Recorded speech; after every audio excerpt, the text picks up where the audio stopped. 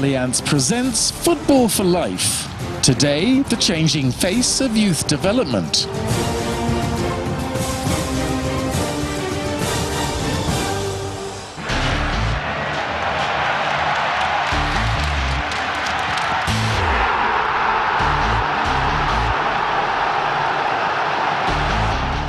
In football, it's not about egos, it's about success.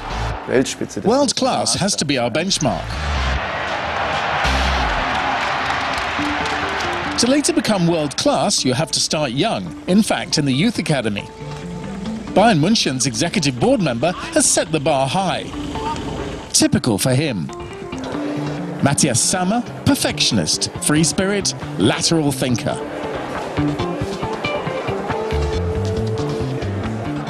Based on my experience, German football needs to grasp very quickly that we simply cannot use a standard approach in dealing with players.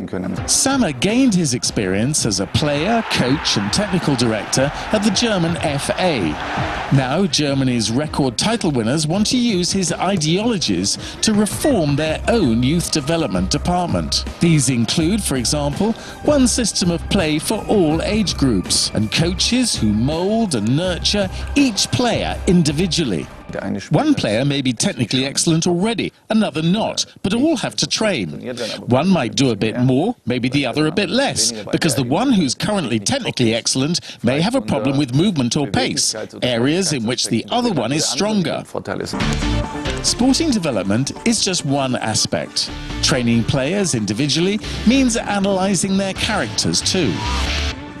To have the courage to divide young people up based on their strengths and weaknesses as you see them, for which, of course, there are various psychological tests. What's a player's personality? Is he sensitive or tough? Is he confident or does he tend to be careless? If you're exceptionally talented at 15, it's not a given that at 18 or 19 you'll be playing in the Bundesliga First Division or in the Second Division. The First Division is always the goal. It's what all footballers work towards, including the Rough Diamonds at Feyenoord, to play one day in the De Kuip Stadium as Roy Makaay once did. The former Bayern striker now trains the under-15 team, preparing them for a professional career.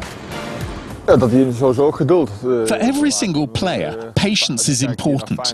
If you look at Feyenoord over the last few years, a lot of players have been released, partly due to financial problems and partly to gain match practice. That's part of our job as coaches too, to loan out players so that they can improve.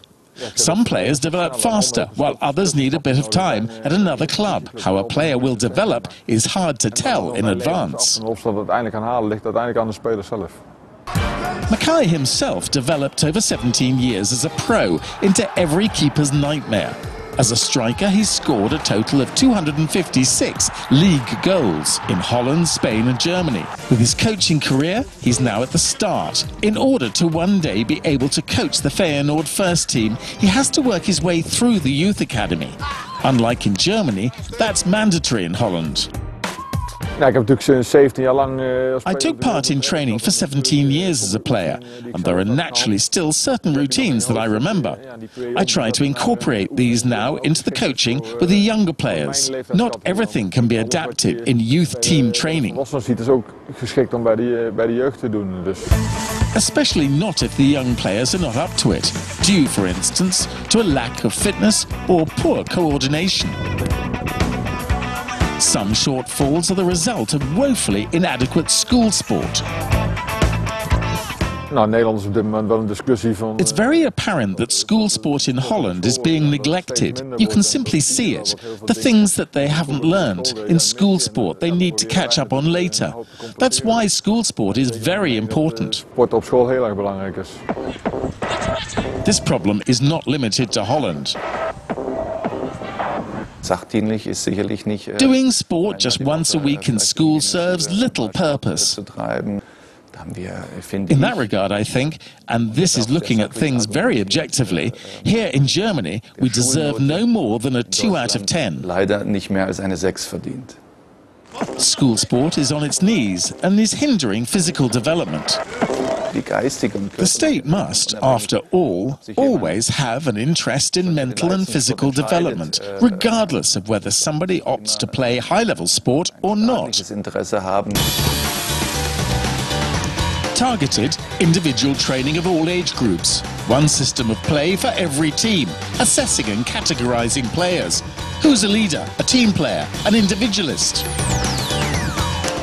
We must guarantee that at Bayern München, the work we do with 10-year-olds is right for their age and world-class.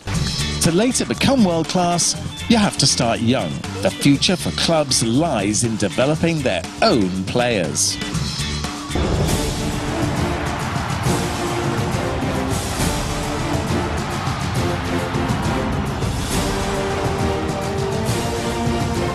Football for Life was presented by Allianz.